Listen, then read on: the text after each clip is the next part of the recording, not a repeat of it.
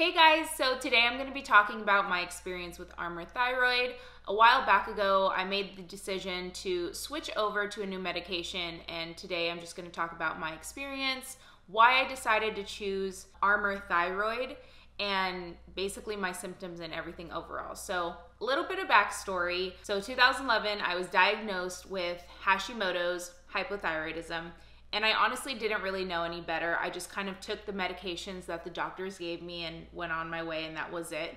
At that time, I didn't really have as severe of symptoms as I did later on. So I didn't really think anything of it, and I just took the levothyroxine and the synthroid that they gave me. I would always bounce around those two medications specifically and just went on my way. And I did that for about honestly seven years. It was fine until it wasn't fine. You know, I've always struggled with my weight, but then it became a situation where I just couldn't lose weight at all. And I kept gaining and gaining. And, you know, my exhaustion was through the roof. I was depressed all the time. I just was so tired of feeling sick and tired. And I finally had it. And I was just like, I'm ready to figure this out. I went to an endocrinologist and I just felt like they weren't supportive. They didn't educate me. And I knew it was time for me to really educate myself and really start learning to help myself. So, being my own advocate. And that's kind of where I'm at now in my journey. I will say it's really overwhelming because you know you're learning everything you're learning everything as you go and there's so much information out there but honestly if you're not going to fight for yourself who do you expect to fight for you? So just decided i'm going to go off all my medications and just completely let my body heal and detox and that's what i did. I was off medications for about eight months and finally my symptoms started occurring again where i was getting the exhaustion. I was like okay I know it's time to start regulating my thyroid again. At that point, I had to make a decision of what medication I wanted to use. And again, it's it's just so overwhelming because there's medications that are FDA approved and not FDA approved or they're not covered by your insurance or it's not even accessible in your country or you know, no doctor wants to prescribe it, like so many things. And so I just honestly was overwhelmed. But the two that always stuck out to me the most were Nature Thyroid and Armour Thyroid. Now, the reason why I chose Armour Thyroid over Nature Thyroid, honestly, it, it's so simple. I just saw more people have more success with Armour Thyroid. I'm a big advocate of testimonials. So if I see that something works for so many people, I am much more willing to try it. But also, I really love that it was a natural medication. So, the way that it's made, it's compounded and basically created from the thyroid pig glands from pigs. So, if you're a vegan, that might not be an option for you. But for me, it was, it just was more natural. And I, I knew that was kind of the route that I wanted to take. Levothyroxine and Synthroid, they're made of inflammatory ingredients. They include gluten, some fillers can include soy, some can include starch. Sucrose is another one, which is basically sugar. And those are all things that cause inflammation in your body. And if you already have an autoimmune disease, your body already has inflammation in it. So, why are you ingesting a medication with more ingredients that cause more inflammation in your body? Like, it just doesn't make sense to me. So, I knew that I wanted something more natural. You know, I was on this holistic path of healing myself. I was cleaning up all my ingredients in my food, in my home. And it's like, why wouldn't I clean up the ingredients of my medication? So, just another disclaimer Armour Thyroid is not FDA approved, which means that some insurances, depending on where you are, and I know that some people that I've talked to in the UK um, and other countries, it's like not even an option for them there. So, luckily for me here in California, I do have access to it.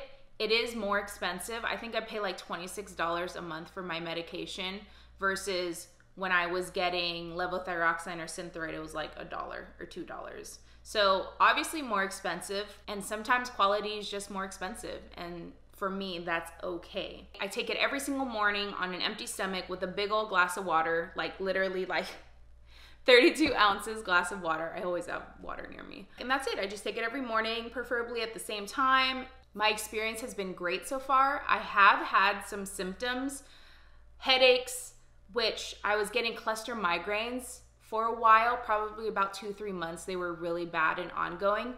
But then they just like stopped one day and then I haven't had them since. Another symptom that you might have to look out for is hair loss, which I was already kind of struggling with that with synthroid and levothyroxine. And honestly, I feel like my hair is actually decreased as far as losing hair. Every time I shower, I have less and less that, you know, you're like pulling out and putting on the wall. Before it used to be like gobs of hair. And it was honestly super traumatizing. Another symptom that I personally experience is like my heart. It just feels like it pounds really hard, but not like on my chest. I can hear it in my ear but I also suffer from tinnitus, so it's one of those things of like I already kind of have shitty hearing in this ear, and I just don't know if that's really correlated to me being on Armour thyroid. I've had honestly great success. My TPO antibodies have decreased every single time I take a blood test. And at the end of this month, I'll have my third blood test. So that means I've been on this medication for nine months consecutively and we'll see what happens. I'm really anxious. They did increase my medication from like 30 micrograms to 60 micrograms over that course of time, just because my TSH increased a little bit. But yeah, I mean, honestly, overall, I feel great. I feel energized. I feel, I don't feel depressed anymore. I honestly was depressed all the time, just sad about everything, just unmotivated. I felt like such a failure, and, and you, I would get this spurt of motivation and then the next day I'd be like why did I do that? You know it, it was it was honestly so debilitating because every single day you just question the decisions that you made. And there were so many times I just kind of really asked myself why am I here? But I don't feel that way anymore. I honestly feel like inspired and motivated and disciplined and I love that I've been able to lose weight a lot easier. I definitely think there's more work to do, and I'm still always, you know, figuring it out day by day.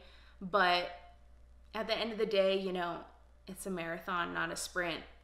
And you're just going to have to trial and error all the time to figure out wh- what works best for you. You know, I hope you guys find this video useful or educational. If you ever need help or questions, like, I'm more than happy to answer as many questions as you have to the best of my ability. In no way, shape, or form am I a doctor or like a thyroid specialist, but I've experienced it and I felt all of this. So I understand what you're going through.